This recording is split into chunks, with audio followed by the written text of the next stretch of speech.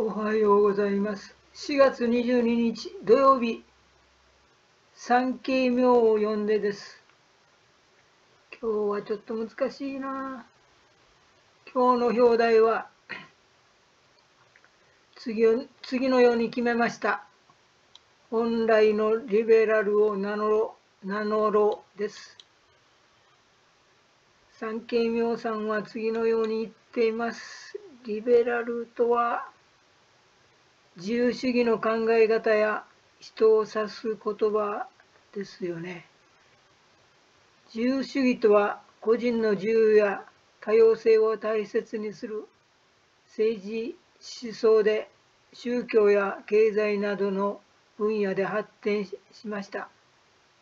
リベラルには権力からの自由を重視する古典的なリベラルと国家の支援で自由を実現する社会的なリベラルがあります。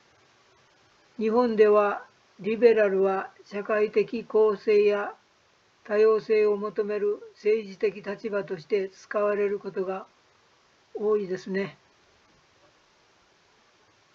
そこである先生が安倍晋三元首相を撃った人を褒めたり死んでよかったと言ったのを見てすごく悲しくなります。そしてその番組言った番組に出ていたリベラル派のジャーナリスジャーナリストも笑っていました。他にも安倍元首相が死んだらやったと叫んだり切ってやると言ったりするリベリベラル派の人がいました。元安倍首相は生きている時リベラル派は自分の考えに疑問を持たないと言っていたけどそういう人たちの発言にはうんざりします。人の死をどう思ってるのか違う考えの人の命も大切だと思えな思わないのでしょうか。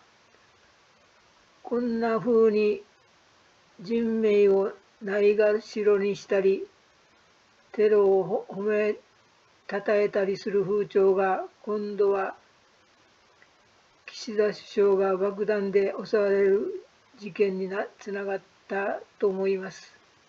また国会に届いたメールには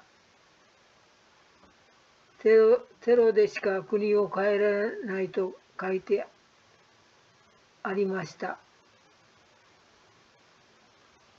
どういう考えしてるんでしょうか。違う考えや見方を尊重しないで嫌うだ嫌う嫌うだけのリベラルは本当のリベラルじゃないと思います。残念ながらそういう人たちが目立ってきていますね。